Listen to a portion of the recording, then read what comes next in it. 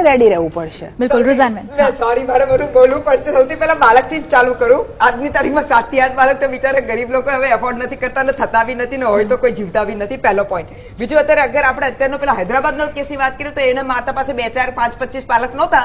એનો જે બાળક હતો એને જુઠ્ઠું બોલ્યો કે મમ્મી મેં કોઈકનું એક્સિડન્ટ કર્યો છું ને એટલે ડિસ્ટર્બ છું. એટલે એવું નથી કે મમ્મીઓ ધ્યાન નથી રાખતી.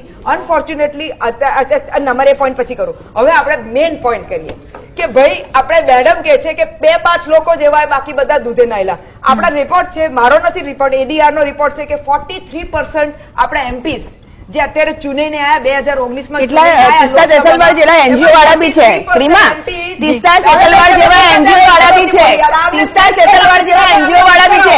દરેક વખતે પોલિટિશિયન પર જતા રહે છે. આ બેન પાસે કોઈ મુદ્દો જ નથી હોતો. પોલિટિશિયન ખરાબ લોયર ખરાબ પોલીસ ખરાબ ગુજરાત ખરાબ ભારત ખરાબ રહો છો શું કરવા તમે લોકો અહીંયા? બધું જ ખરાબ છે.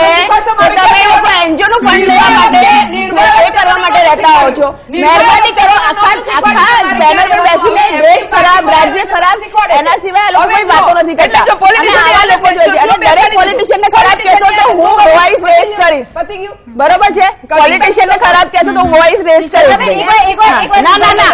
એ જજમેન્ટલ હોય છે એમનું એમના નિવેદનો જજમેન્ટલ જ હોય છે. તિસ્તા સેતલવાર જેવા લોકો નથી જોતા અમને લોકોને. સેતલવાર જેવા લોકો વિદેશમાંથી ફંડ લાવીને પોતાના દેશમાં બદનામ કરતા હોય.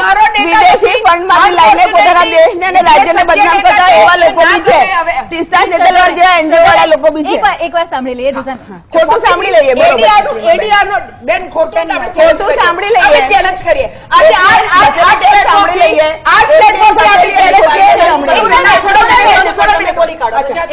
પ્લેટફોર્મથી ચેલેન્જ છે કે અગર આજે મારો ડેટા ખોટો છે તો હું બધા સામે માફી માંગીશ. ને અગર સાચો છે તો બેન ને કહ્યું તો માફી માંગીશ. અરે હું તમને 43% ડિફેમ કરવા 43% ફોટના માફી માંગજો પછી. હું માફી કરવા જોડીને કામે કેસે પ્રમાણે તમારે કરવાનું છે? 43 પર્સન્ટ ફોર્ટી થ્રી પર્સન્ટ આપણે ડેટા આવ્યો છે forty three percent criminal record criminal background different different એ લોકો સામે કેસીસ છે ફોર્ટી થ્રી પર્સન્ટ જેમાંથી ટ્વેન્ટ એમપીસ બધા એમપીસની વાત કરું છું, આ તો પોતે ભલે પોતે માથે ટોપલા પહેરે, બધા એમપીસની વાત કરું છું, બધી પાર્ટીઓના. એમાંથી અઠ્ઠાવીસ ટકા એમપીસ પાસે crime against women attempt to murder murder અને વુમેનના બીજા એટલા છે. એટલે અઠ્ઠાવીસ ટકા બહેનો પાંચ છ ટકાની વાત નથી અઠ્ઠાવીસ ટકા એમપી જેને આપણે તમે હું ચૂંટીને લાયા છે. પહેલો પોઈન્ટ છે. બીજો અનફોર્ચ્યુનેટલી આપણી ગુજરાતની મેં વાત કરી લઉં.